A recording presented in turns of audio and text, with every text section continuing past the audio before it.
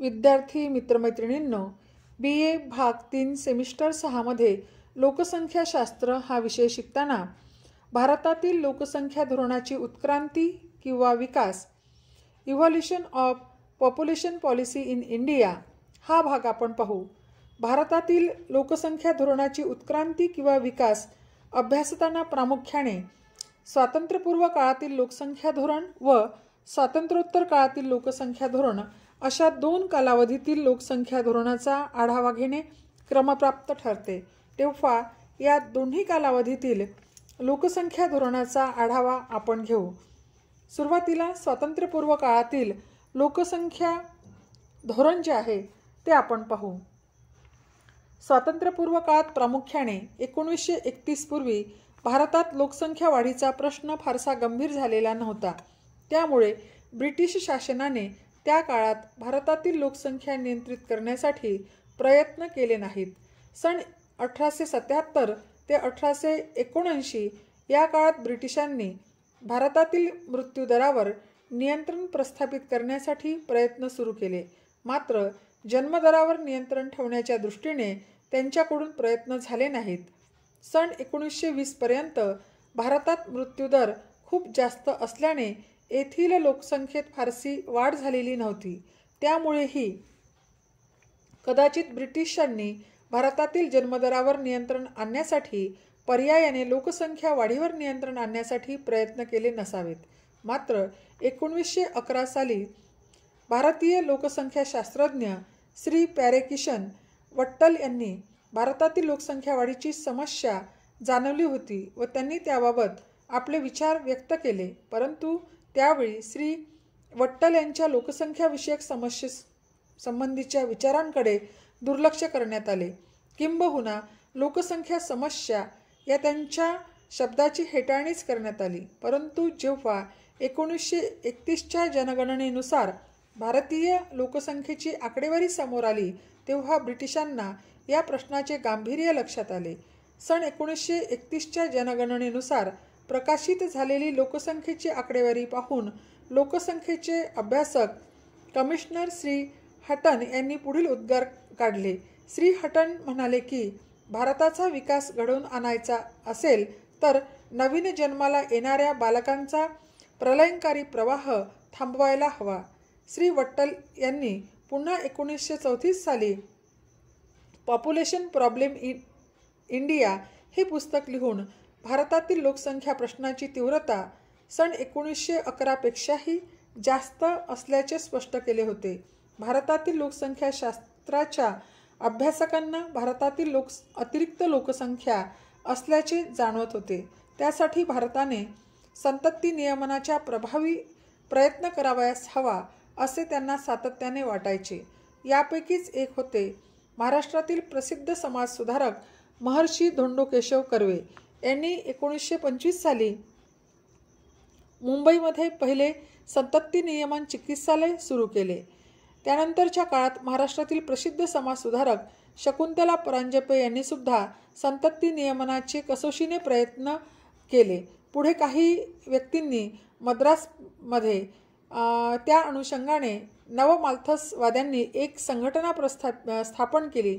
तसेच त्यावेळच्या मैसूर सरकारने अकरा जून एकोणीसशे तीस रोजी जगातील पहिले शासकीय संतती नियमन चिकित्सालय सुरू केले. त्याचप्रमाणे एकोणीसशे बत्तीसमध्ये मद्रास सरकारने राज्यात संतती नियमन चिकित्सालय सुरू करण्यास मान्यता दिली. सन एकोणीसशे पस्तीसमध्ये पंडित जवाहरलाल नेहरू यांच्या अध्यक्षतेखाली राष्ट्रीय नियोजन समिती आकाराला आली होती. या समितीने कुटुंब नियोजनास जोरदार पाठिंबा देऊन वाढत्या लोकसंख्येवर नियंत्रण ठेवण्याच्या प्रयत्नांना गती दिली. तसेच एकोणीसशे त्रेचाळीसमध्ये नेमलेल्या भोर समितीने सुद्धा आरोग्याच्या दृष्टीने कुटुंब नियोजनाची शिफारस केली. अखिल भारतीय महिला परिषद या बाबतीत बरीच आग्रही होती.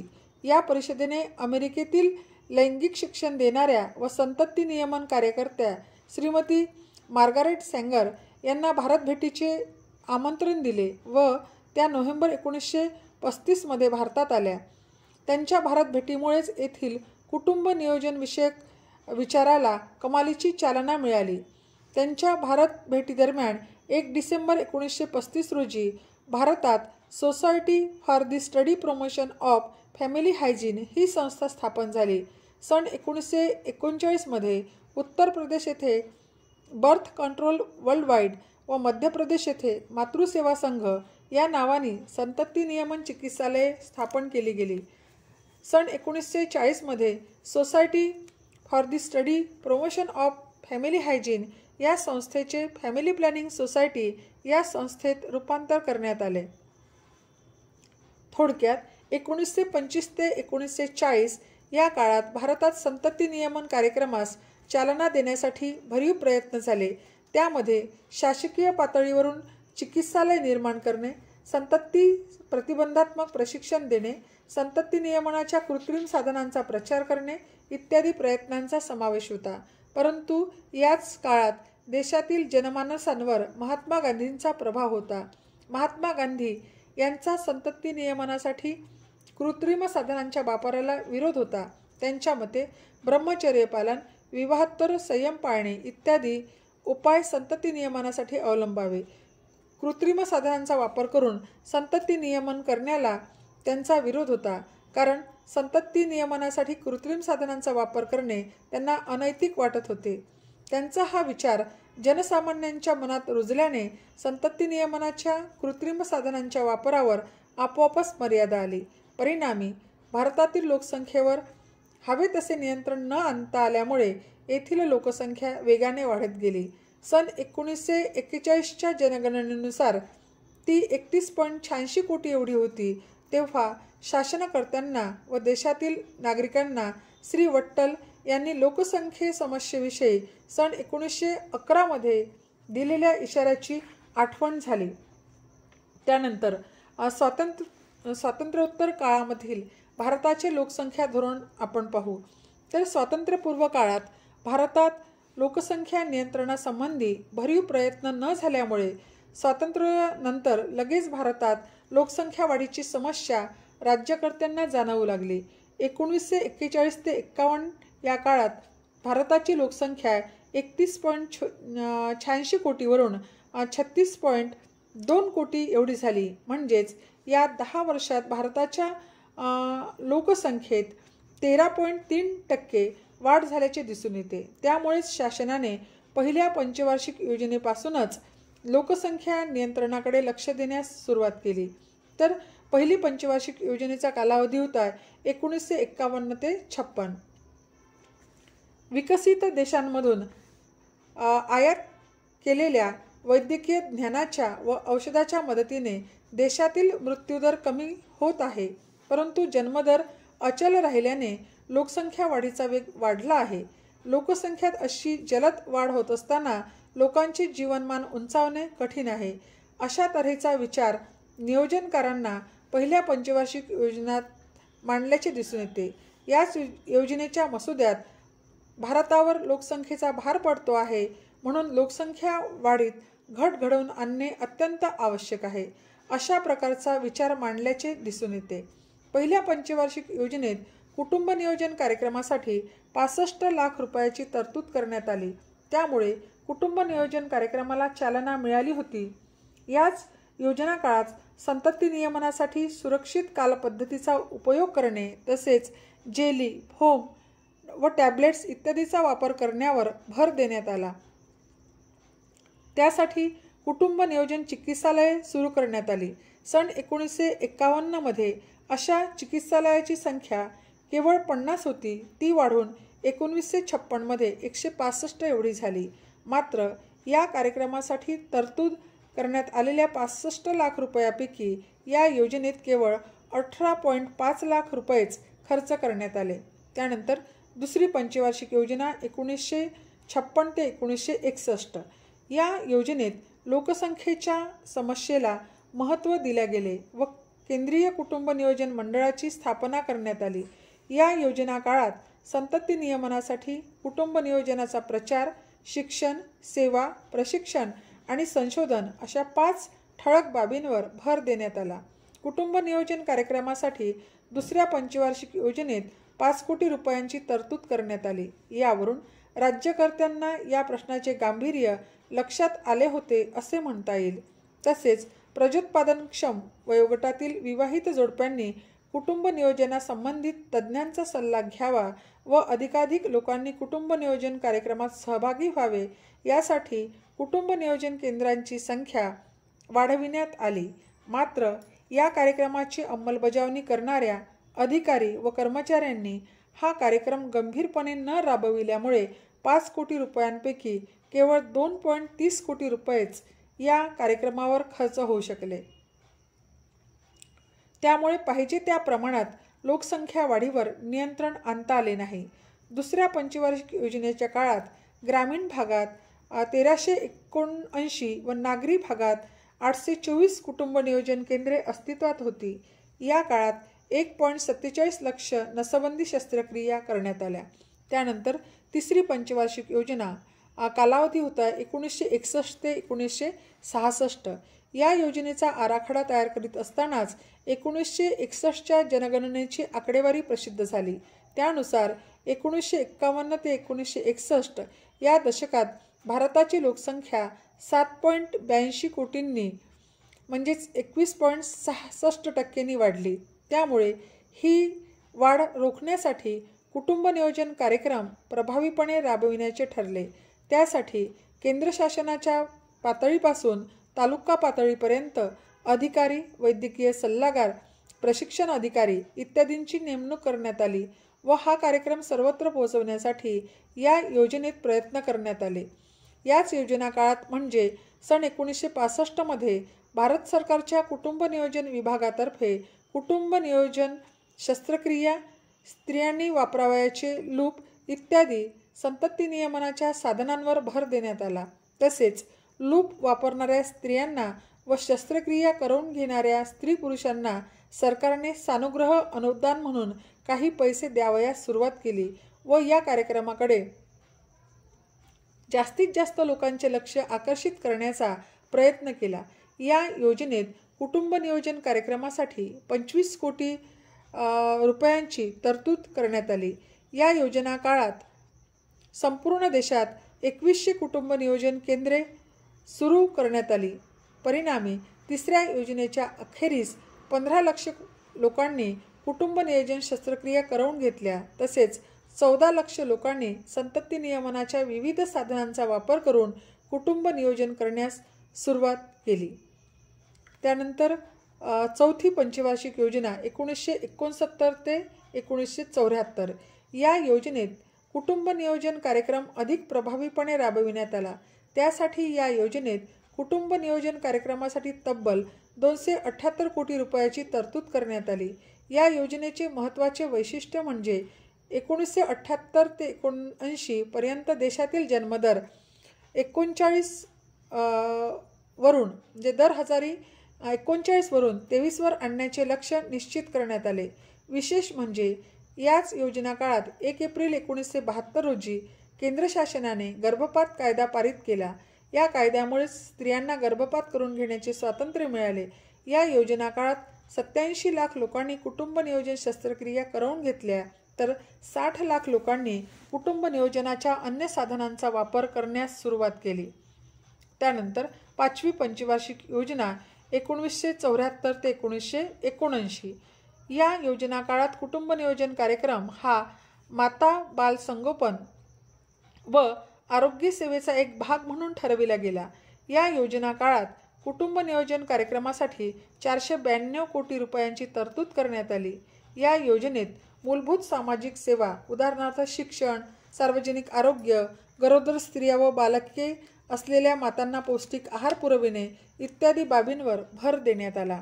त्यानंतर सहावी पंचवार्षिक योजना एकोणवीसशे ऐंशी ते एकोणीसशे पंच्याऐंशी. सहाव्या योजनेत कुटुंब कल्या कल्याण कार्यक्रमास विशेष प्राधान्य देण्यात आले. या योजनेत कुटुंब कल्याण कार्यक्रमासाठी चौदाशे अठ्ठेचाळीस कोटी रुपयांची तरतूद करण्यात आली. या योजनेत कुटुंबाचा सरासरी आकार दोन पॉईंट तीन अपत्ते एवढा खाली आणणे एकोणीसशे पंच्याण्णवपर्यंत जन्मदर प्रति हजार वीसपर्यंत आणणे व मृत्यूदर प्रति हजार नऊपर्यंत घटविणे. किमान साठ टक्के जननक्षम जोडप्यांना कुटुंब कल्याण कार्यक्रमात सहभागी करून घेणे व दोन पॉईंट चार कोटी कुटुंब नियोजन शस्त्रक्रिया करवून घेणे इत्यादी उद्दिष्टे निश्चित करण्यात आली. ही उद्दिष्टे गाठण्यासाठी सरकारी डॉक्टरांसोबत खाजगी स्वयंसेवी संस्था तसेच खाजगी डॉक्टरांचे सहकार्य घेण्याचे ठरले. या योजनेत संपूर्ण देशात नऊ पॉईंट सात कोटी कुटुंब नियोजन शस्त्रक्रिया झाल्याचे दिसून येते. त्यानंतर सातवी पंचवार्षिक योजना एकोणीसशे पंच्याऐंशी ते एकोणवीसशे नव्वद या योजनेत कुटुंब नियोजन कार्यक्रम खेडोपाडी पोहोचविण्याचे निश्चित करण्यात आले. सातव्या योजनेत कुटुंब कल्याण कार्यक्रम प्रभावीपणे राबविण्याचे ठरले व त्यासाठी एकतीसशे एकवीस कोटी रुपयाची तरतूद करण्यात आली. कुटुंब कल्याण कार्यक्रम प्रभावीपणे राबविण्यासाठी या योजनेत त्या अनुषंगाने देशातील जन्मदर व मृत्यूदर दर हजारी अनुक्रमे एकोणतीस पॉईंट एक व दहा पॉईंट चार करणे. बालमृत्यूचे प्रमाण दर हजारी नव्वदपर्यंत आणणे. पंच्याहत्तर टक्क्यांपर्यंत स्त्रियांना बाळणपणाच्या सोयी पुरविणे कुटुंबात दोन अपत्य असणाऱ्यांवर लोकांमध्ये जागृती निर्माण करणे. देशातील सामाजिक व आर्थिक अडथळे दूर करून जनन प्रमाण कमी करण्यास वातावरण निर्माण करणे स्त्री साक्षरता व रोजगार निर्माण कार्यक्रमास चालना देणे इत्यादी महत्त्वाची उद्दिष्टे निश्चित करण्यात आली. याचा परिणाम म्हणून एकोणीसशे एक्क्याऐंशीमध्ये देशात लोकसंख्या वाढीचा वार्षिक दर जो दोन पॉईंट पंचवीस टक्के होता तो कमी होऊन एकोणीसशे एक्क्याण्णवमध्ये दोन पॉईंट अकरा करण्यात आला. त्यानंतर आठवी पंचवार्षिक योजना एकोणीसशे ब्याण्णव ते सत्त्याण्णव. या योजनेत कुटुंब कल्याण कार्यक्रमासाठी सहा हजार सातशे ब्याण्णव कोटी रुपयाची तरतूद करण्यात आली. तसेच कुटुंब नियोजन कार्यक्रम प्रभावीपणे राबविण्यासाठी राज्य शासकीय व केंद्र शासकीय कर्मचारी तसेच इतर सार्वजनिक क्षेत्रातील कर्मचाऱ्यांनी दोन अपत्यांचे कुटुंब हे सूत्र स्वीकारल्यास त्यांना घर बांधणीसाठी कमी व्याजदराने कर्ज प्रवास रजा सवलत अशा सवलती देण्याचे ठरविण्यात आले. तसेच लोकांच्या सहकार्याने लोकसंख्या नियंत्रित करणे व पंधरा ते पस्तीस वयोगटातील लोकांची निरक्षरता दूर करून प्राथमिक शिक्षणाला व्यापक प्रसार करणे हे उद्दिष्ट निश्चित करण्यात आले. त्यानंतर नववी पंचवार्षिक योजना एकोणीसशे सत्त्याण्णव ते दोन हजार दोन या योजनेत कुटुंब कल्याण कार्यक्रमासाठी पंधरा हजार एकशे वीस कोटी रुपयाची तरतूद करण्यात आली. देशातील लोकसंख्या नियंत्रित करण्याच्या दृष्टीने या योजनेत लोकसंख्या नियंत्रणासाठी विविध प्रकारच्या योजना राबविण्यात आल्या. विशेष म्हणजे स्त्रियांकडे सत्ता बहाल करणे व अनुसूचित जाती अनुसूचित जमाती इतर मागासवर्ग व अल्पसंख्याक समाजासाठी विविध योजना राबविण्याचे व लोकसंख्या नियंत्रित करण्याचे या योजनेत ठरविण्यात आले. त्यानंतर दहावी पंचवार्षिक योजना दोन हजार दोन ते दोन हजार सात या योजनेत कुटुंब कल्याण कार्यक्रमासाठी सत्तावीस हजार एकशे पंचवीस कोटी रुपयाची तरतूद करण्यात आली. या योजनेत कुटुंब कल्याण कार्यक्रम प्रभावीपणे राबविण्यासाठी दोन हजार सातपर्यंत देशातील दारिद्र्य पाच टक्के व दोन हजार बारापर्यंत पंधरा टक्क्याने कमी करणे दोन हजार तीनपर्यंत सर्व मुले शाळेत नोंदविणे स्त्री पुरुष साक्षरतेतील तफावत दूर करणे या योजना काळात देशाची एकूण साक्षरता पंच्याहत्तर टक्के करणे दोन हजार सातपर्यंत देशातील बालमृत्यू प्रति हजार पंचेचाळीसपर्यंत व दोन हजार बारापर्यंत तो पंचवीसपर्यंत कमी करणे इत्यादी उष्टे उद्दिष्टे ठरविण्यात आली. त्यानंतर अकरावी पंचवार्षिक योजना दोन हजार सात ते दोन हजार बारा या योजनेत कुटुंब कल्याण कार्यक्रम देशभर प्रभावीपणे राबविण्याचे ठरले. त्यासाठी दोन हजार अकरा बारापर्यंत एकूण प्रजनन दर दोन पॉईंट एक एवढा करणे. बालमृत्यू दर दोन हजार अकरा बारापर्यंत दर हजारी अठ्ठावीसपर्यंत तसेच माता मृत्यू दर प्रति हजार एकपर्यंत कमी करणे. रक्ताक्षयाने ग्रस्त ज्याला आपण ॲनिमिया म्हणतो महिला व मुलींचे प्रमाण निम्म्यापर्यंत खाली आणणे शून्य ते तीन वयोगटातील मुलांचे कुपोषण सध्याच्या तुलनेत निम्मापर्यंत कमी करणे इत्यादी उद्दिष्टे ठरविण्यात आली. त्यानंतर बारावी पंचवार्षिक योजना दोन हजार बारा ते दोन हजार सतरा. दोन हजार अकराच्या जनगणनेनुसार भारताची लोकसंख्या एकशे एकवीस पॉईंट शून्य दोन कोटी झाली. दोन हजार एकच्या तुलनेत दोन हजार अकरामध्ये भारताच्या लोकसंख्येत तब्बल अठरा पॉईंट तीस कोटींनी वाढ झाली. त्यामुळे कुटुंब नियोजन कार्यक्रम प्रभावीपणे राबवून देशातील वेगाने वाढणाऱ्या लोकसंख्येवर नियंत्रण निर्माण करणे व तिचा वेग कमी करण्याचे ठरविण्यात आले. त्यासाठी एकूण जन्मदर दोन पॉईंट एकपर्यंत कमी करणे. एकतीस मार्च दोन हजार सतरापर्यंत देशातील दारिद्र्याचे प्रमाण दहा टक्क्याने कमी करणे. एक हजार जिवंत जन्मांमागे माता मृत्यूदर एकपर्यंत कमी करणे. बालमृत्यूदर प्रति हजार पंचवीसपर्यंत कमी करणे बाललिंग गुणोत्तर दोन हजार सोळा सतरापर्यंत दर हजारी नऊशे पन्नासपर्यंत वाढविणे तसेच शून्य ते तीन वयोगटातील बालकांचे कुपोषण दोन हजार पाचच्या तुलनेत दोन हजार सतरापर्यंत निम्म्यावर आणणे इत्यादी उद्दिष्टे ठरविण्यात आली. अशा प्रकारे स्वातंत्र्योत्तर काळात भारताच्या लोकसंख्या धोरणात वेळोवेळी बदल करून लोकसंख्या नियंत्रित करण्याचे प्रयत्न करण्यात आले.